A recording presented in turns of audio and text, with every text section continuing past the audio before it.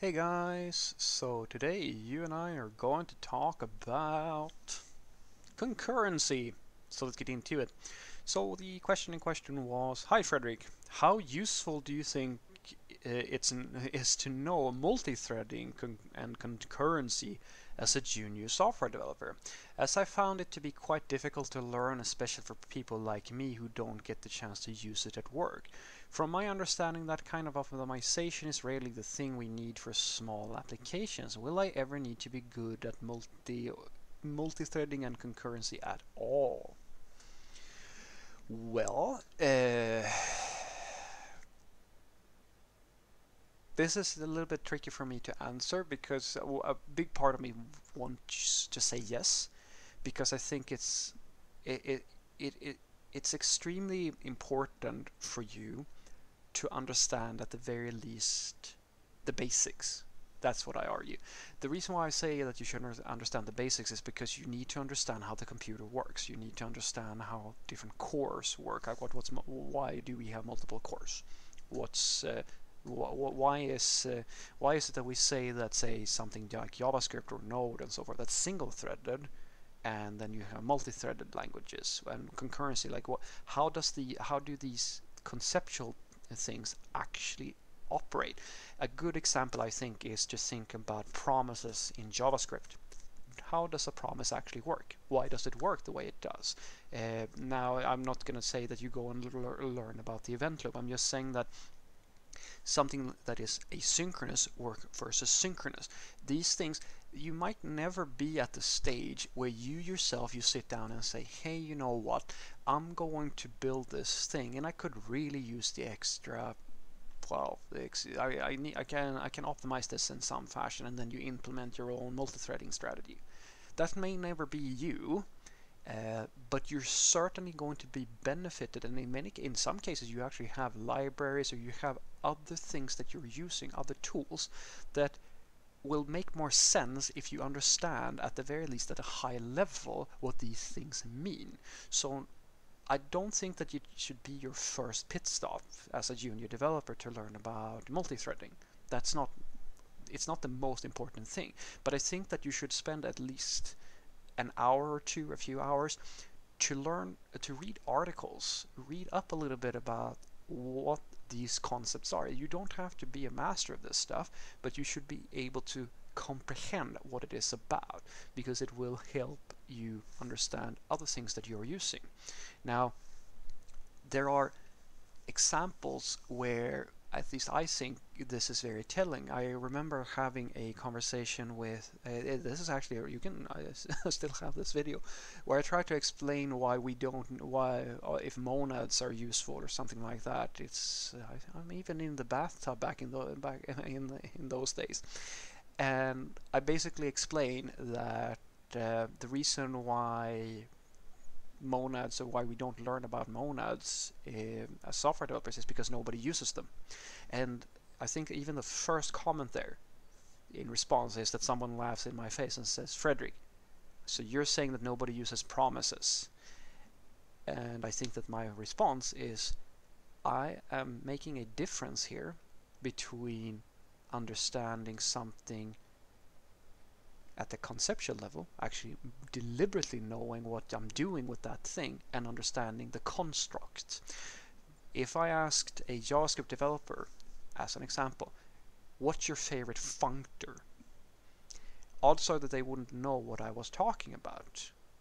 I'll, the same thing if I asked you what's your favorite monad, uh, monadic structure, in JavaScript, very few people would know what I'm talking about. But if I say what, how, like, uh, how do you like promises, and they would, most of them at the very least, would know what a promise was, because they've, and th that's the thing, they've learned what the promise is. And that's just it, it is it is a monadic structure, but you don't have to know the uh, like the theory behind monadic structures to understand how to consume a promise. But what you do need to know is its behavior in the code that you write. How do you consume this interface? How do you use this this thing that we call a promise? And that's the same level of understanding I think that you should have for concurrency and, and multi-threading. If you just understand in what situations these things are useful and kind of how they work. You don't have to uh, even okay, it's not that common as you were saying yourself. It's not super common that you use it in your own code. I have on a few occasions, and there are many different libraries and other situations where these things occur. And I think that you should look at it as just a tool, another tool in your tool belt. And as I like to say, some tools uh, when you're learning how to write software like when you have any type of tool, they are tools that you use every day. They are hammers, there are nails, etc., etc., things that you use all the time. And those tools, they get used a lot. But then there are tools that are not so common, like multi-threading and concurrency. It might not be the most common thing, but it is still a useful tool to have because when you face a situation where you at the very least need to understand the concept because you're using some other tool that is leveraging something like multi-threading well then that tool becomes much more comprehensible to you. And when you get more advanced and further down your eh, further in your career you might find that there are situations where you have a problem then you just have this thought hey you know what? This problem sort of fits this thing that I read about multi-threading and concurrency or something like that maybe I can look in a little bit further and further my understanding of these concepts and see if I can actually apply it and then you can take it from there. That doesn't mean that you have to master it on day one as a junior developer.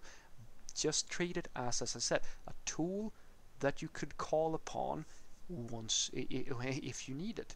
So what I want you to take away from this is that no, I don't think that you have to feel, and I think that this is a fundamental um, this is a fundamental worry in every single junior software developer, and I understand it. I'm and I'm trying to help guide you in the right direction here, guys. There are so many things in software development that you are going to be completely clueless about. There are so many things in software development that I am completely clueless with uh, about. Like there are so many things, and I've said this on multiple occasions before, guys. You will not learn it all. Just accept it. You can you can you can be as as passionate as you as anybody and you will still not learn it all. Accept that. That is part of being a software developer. Being humble enough to realize that even if you spend the rest of your life learning everything that there is possibly to know by the time you get to the end and it's time for you to retire the information that you have to learn is going to uh, quadruple because it's an expanding field. You're not going to learn it all. However I think it is very good for you to look at something like multi-threading or concurrency as something that is just a tool, it's just something that could be useful. So learn the high level concepts around the thing don't you don't have to be a master you just know sort of how it works. And then just as with monads or whatever it's something that you sort of understand how it works. And usually the way you interact with these things is through some library or some abstraction somebody else created. And now that abstraction becomes much more comprehensible to you to consume because you understand some of the underlying theories as to how this thing works and in some cases you might find that hey you know what I might actually go ha go have to go back and read up on this thing because now I'm in that specific situation where this thing might actually be kind of useful. Have a great day.